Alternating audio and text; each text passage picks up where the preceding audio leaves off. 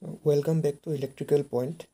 In my previous video, I have explained how we can refer various drive parameters like moment of inertia and torque to the motor shaft. And in today's video, we are going to see a problem related to that concept. So if you have not seen my previous video, do go through that once before solving this problem.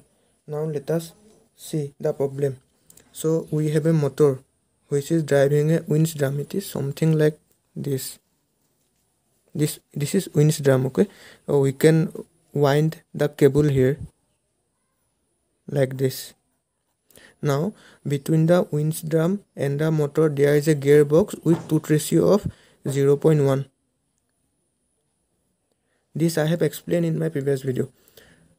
And the moment of inertia are given moment of inertia of the motor is zero' point five kilogram metre square this this is the moment of inertia of the gear box this is the moment of inertia of the winch drum and the load has an up and down motion so' it can go' downward or upward okay and it is weight is five hundred kilogram now let us first find the equivalent moment of inertia of the system refer to the motor shaft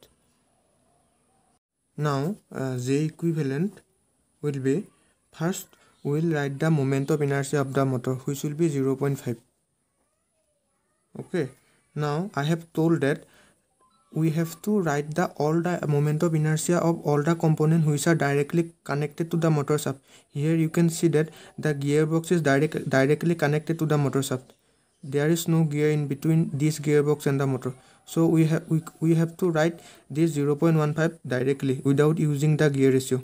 Now for this moment of inertia you can see that this is connected through gear which has an tooth ratio of 0.1 so we have to write 1 into a square that is 0.1 square. Now now for this load we have to write the expression for linear motion okay? So this its mass is 500 so 5 m into v by omega m square. Now omega m is known. This is given as 1500 rpm but we do not know the value of v the linear velocity of this load. If you are not familiar with this expression please go through my previous video okay? Now we will find the velocity v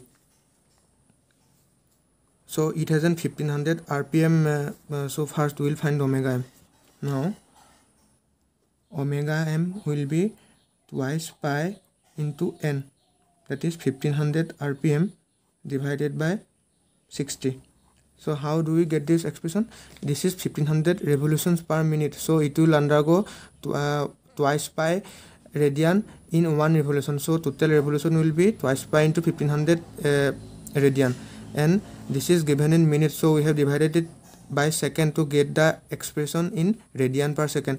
This will be equal to okay 15 pi radian per second. Okay. Now this speed the speed of this winch drum will be this multiplied by the gear ratio. That is uh, speed of the winch drum okay wd this will be 50 pi into 0 0.1 that is 5 pi.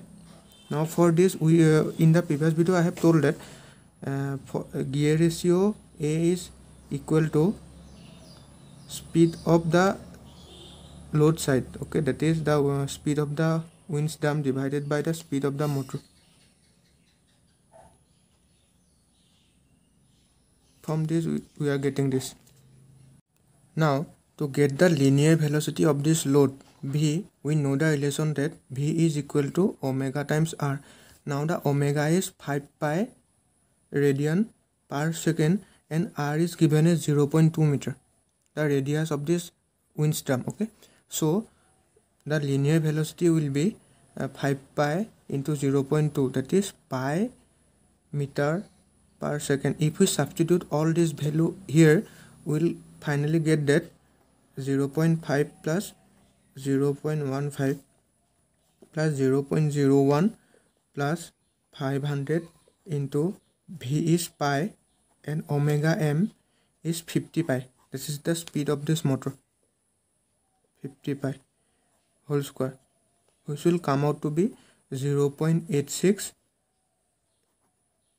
kilogram meter square. This is the equivalent moment of inertia of this system referred to the motor shaft now i hope uh, how to solve a question related to uh, mom moment of inertia is clear now now we will see how we can uh, get the equivalent torque at the motor shaft now we will find the mot uh, motor torque okay we now this motor torque will balance all the uh, load torque that the system offers so first up it will balance the friction torque which is at the motor shaft here so we can directly write that that is 10 newton meter now the friction torque at the wind, wind shaft that is here it is given as 15 but we cannot directly write add here it is because this is connected through a gear so we have to write 15 into the gear ratio that is 0 0.1 and the efficiency of this gearbox gear is 90 percent that is 0 0.9 i have explained all this in my previous video. Plus now for this load we have to write f v by omega m square divided by the efficiency. Now we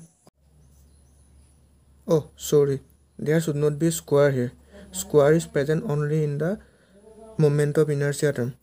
Here we know the efficiency. We also know the v velocity v what we don't know is the force f.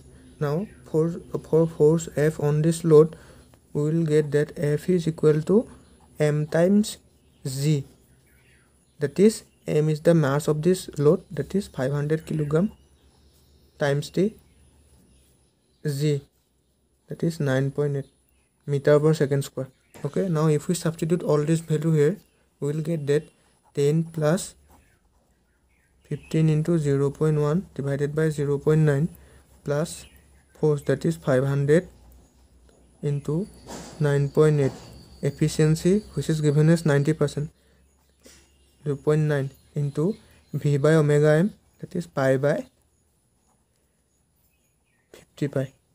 Now if we solve this we will get that this will be equal to 120.56 newton meter. This is the solution of the problem. I hope you have liked the video. Do share it among your friends. Thank you